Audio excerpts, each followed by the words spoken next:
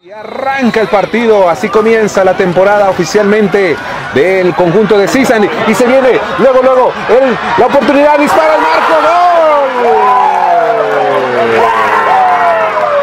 Gol